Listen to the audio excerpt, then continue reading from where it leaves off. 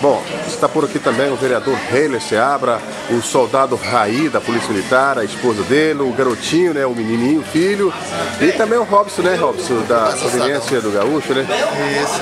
Bom, vamos começar com o Heiler. Heiler, é, fala pra gente um pedacinho desse trabalho que está sendo realizado aqui na, na companhia do, da, da Polícia Militar de Séries. O trabalho foi desenvolvido pela Simone. A Simone é professora, diretora de uma escola em Renato, é parceira nossa do Agrupação do Cidadão. É um trabalho que vem. É ex-diretora? Ah, então a escola aprendeu. É, e é a gente já trabalha em parceria com eles lá já há algum tempo, com projetos ambientais, com também projetos com as crianças de reciclagem, questão de água. Né? O que aconteceu? Na conversa nós temos um programa agora, já aproveitando esse momento para falar, no dia 20, que é o Criança Feliz no Séries Clube, uma quinta edição, um projeto maravilhoso, onde a gente leva todas as crianças para dentro do Séries Clube e temos como parceira Simone. E nessa conversa, Simone teve uma excelente ideia, que era apadrinhar, trazer as crianças do lar e fazer esse primeiro contato com a polícia militar, que vai estar tá tendo a guarda, né, o cuidado dessas crianças naquele momento e aí ela vai poder falar mais desse acontecimento aqui. Bom, é, a gente quando começou a conversar, a gente pensou assim, como a gente vai amparar realmente as crianças de uma forma igual? A gente lembrou das crianças do lar, que elas não tem como elas saírem lá do lar para ir nesse evento, por quê? Porque cada uma tem uma história por trás, né? Então tem uma certa dificuldade. E aí conversando com o Robson, a gente pensou assim, mas a gente não pode deixar eles de fora, a gente tem que incluir eles de alguma forma. E aí a gente pensou na polícia militar tá? para apadrinhar essas crianças né, nesse dia do evento, aproximar eles, para eles poderem ver também a polícia como heróis, né? Porque é, foi a polícia que tirou eles ali naquele momento das famílias ali, porque cumpriu um, uma ordem. Então eles às vezes têm um pouco de receio, um pouco de medo da polícia. E hoje eles vão estar podendo conviver com a polícia de uma forma harmoniosa e ver a polícia como heróis. E eles vão crescer cidadãos mais conscientes, eles vão crescer é, vendo que eles podem também fazer a diferença na sociedade, assim como a polícia faz, assim como o Grupo Ação Cidadão faz, né, porque eles fazem um trabalho maravilhoso.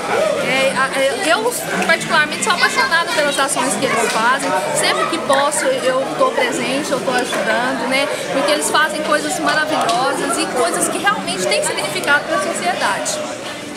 Tá bom, tá o Robson também, né, Robson? Que é do Grupo Ação do Cidadão.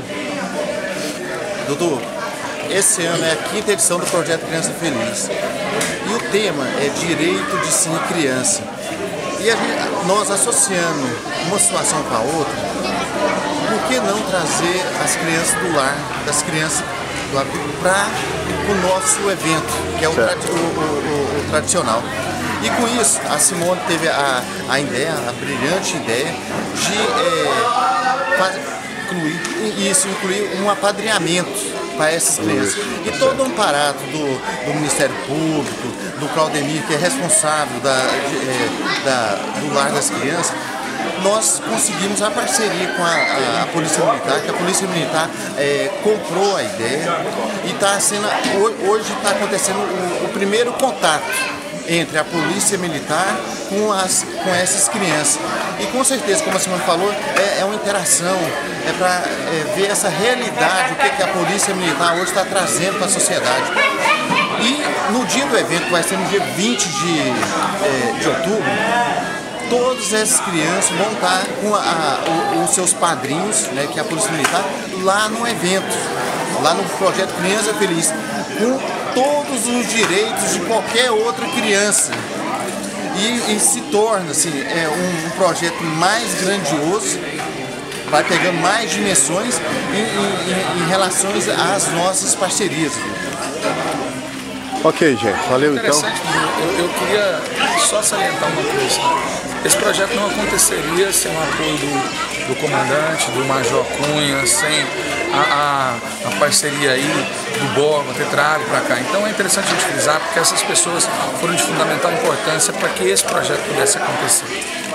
Ok, obrigado, gente. Sucesso pelo trabalho do Grupo Ação do Cidadão, juntamente com a Polícia Militar.